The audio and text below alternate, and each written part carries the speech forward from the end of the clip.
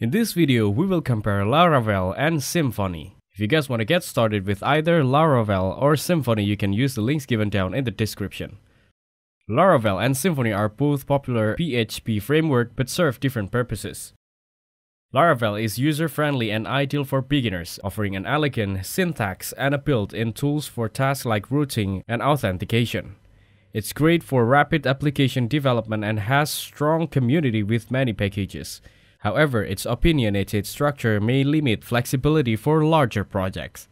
Symfony is more modular and flexible, making it suitable for complex, large-scale application.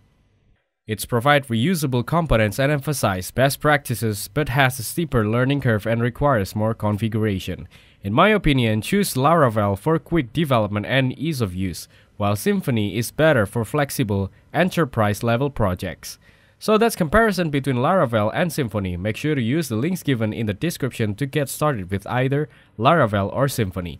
If this video was helpful, please consider leaving a like and subscribing to my channel. With that being said, I'll see you in the next video.